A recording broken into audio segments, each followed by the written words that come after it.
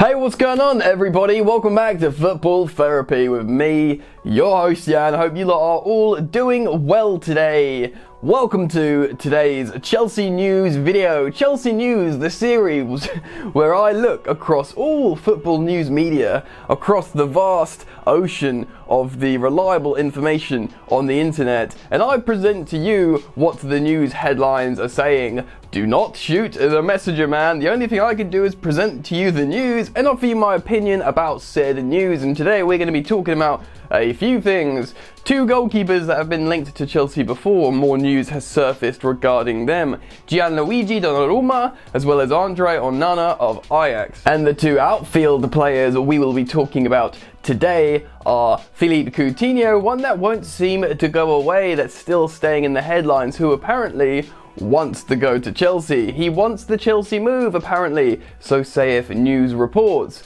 as well as N'Golo Kante. Apparently, Chelsea have put on a price tag for the Frenchman of just 70 million euros, which people thought they would maybe get twice as much as that. But obviously, these are exceptional times, prices are being slashed. He's 29, he's constantly been injured of late, maybe a little bit of reflection. Still seems like a rather small amount though. And there's actually a rumoured potential swap deal regarding both Coutinho and Kante. I wonder how people are going to feel about that. Still, it's a lot to talk about, and I want to run through it today and offer you guys my opinion on said subjects. we can speculate what's going to happen to Chelsea Football Club moving forwards if the transfer window opens, if football returns, if we can make it through. Alright, this is the part of the video where I remind you there watching that you are most probably not subscribed. Oh yes, that's the truth. The majority of my viewership come and watch my videos, might return, watch more videos, but they do not subscribe to Football Therapy, which is a cruel fate if you ask me. So why don't you just take a second, subscribe, hit that bell notifications icon because that is important and you can support me who's making daily content for you by liking the video. Alright, let's get into it. Boom! N'Golo Kante, let's talk about the World Cup winning Frenchman who's won multitude of awards, whether it's Premier Leagues, individual awards, etc. We all know him about this tool, very good at football, really good at making tackles, huge talking point in football, and more so the Chelsea fan base.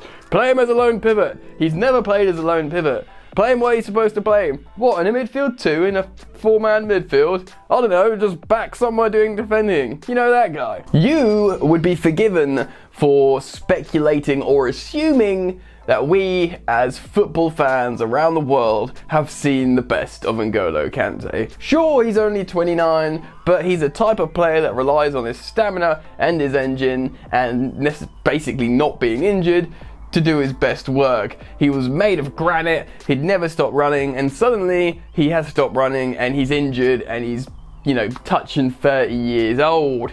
This 30 year old or near 30 year old player could still fetch 70 million euros in a turbulent time, in a broken transfer market. Would you do it? I can see the theory in doing it, but I can completely understand why some fans would want to keep N'Golo Kante, so I'm going to park myself firmly on this fence and say that. Clubs like Real Madrid and Paris Saint-Germain are both very, very interested in N'Golo Kante still. I do believe he'd do better work out in either France or Spain in comparison to the physicality of the Premier League if he does indeed continue to have recurring injuries. I see him doing better work out there. So both Paris and Madrid are calling him, and apparently so are Barcelona.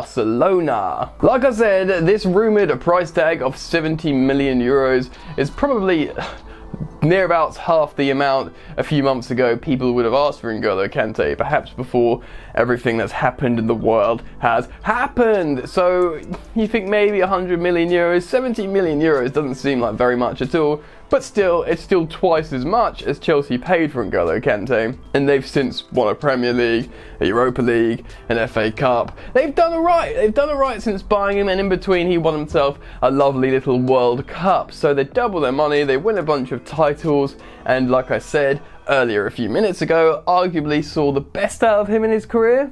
I get it. You might say Kante's got a few like decent years left in him, but I want to reiterate that I feel like the physicality and speed of the Premier League might be more damaging to the Frenchman now than perhaps sort of inferior leagues. I don't want to say inferior, but I just did say inferior. So, ha, inferior leagues like France or Spain.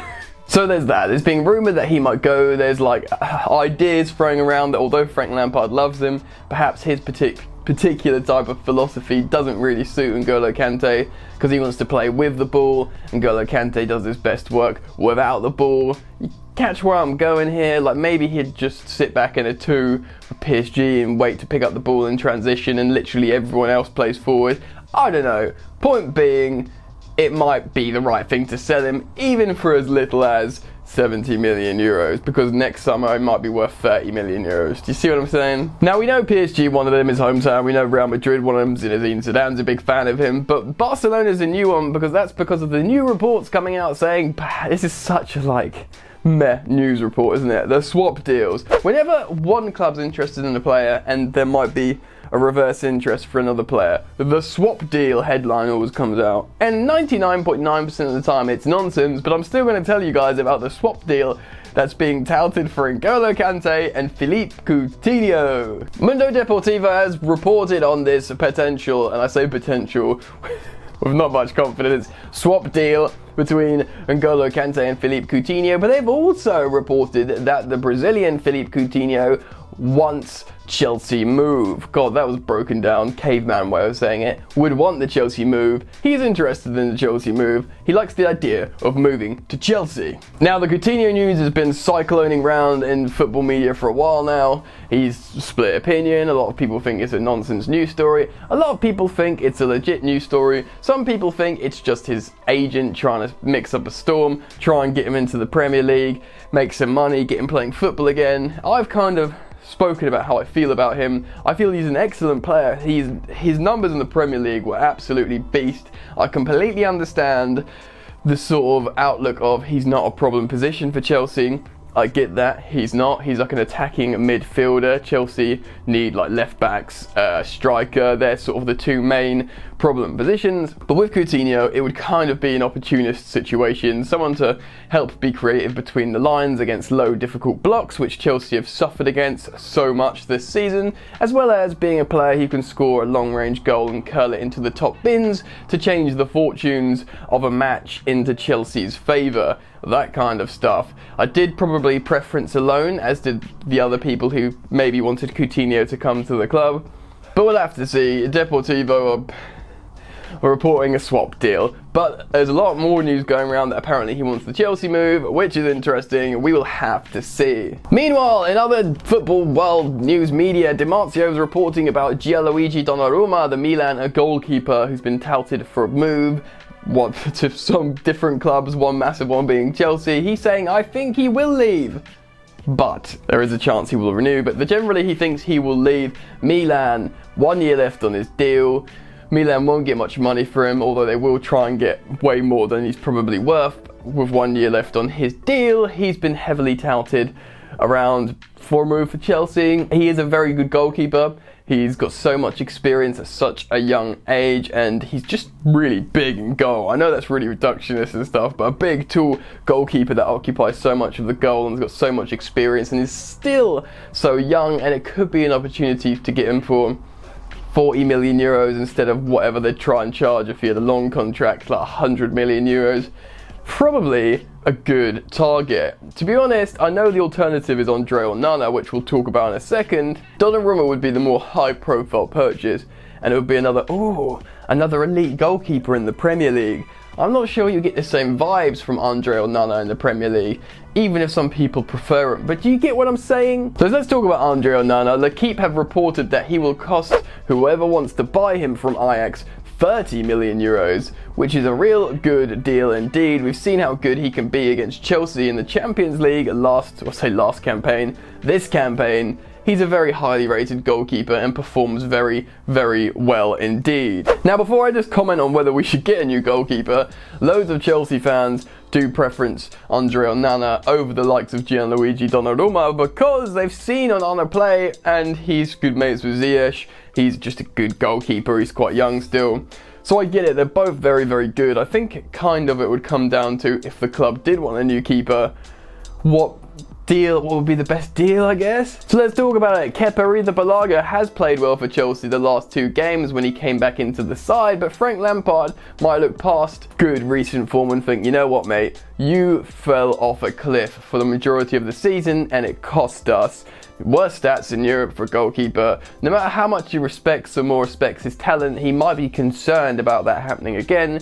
I've spoken on Football Therapy about Chelsea replacing Willy Caballero with a much younger deputy who can challenge Kepa if needs be if his form falls off again.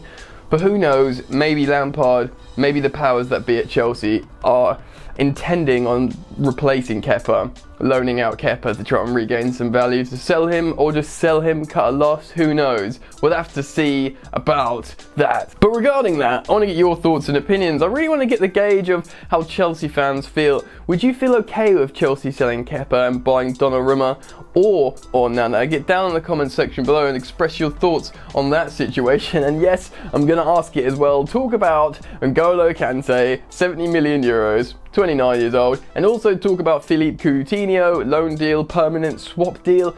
I want to hear everyone's thoughts and opinions down in the comment section below, so let me know, get down there. If you've enjoyed the content today, guys, please do like the video. That means a lot to me. Subscribe if you're new to the channel. Follow me on social media at Football Yannick on both Instagram and Twitter. That's it for me, you lot. Enjoy the football that is not happening at the moment, and I will see you later. You ain't so tough with that bad boy talk. I'ma get it how I'm living, I'ma walk the walk. Outline my lines, I rap through thought. Body bag the verse, chalk. In my life, seen trouble, hustle on the double, silence on the trigger like my pick got a muzzle. Yo, chick like to guzzle, bad boy stay in trouble. I only love this paper, sorry I don't. I me.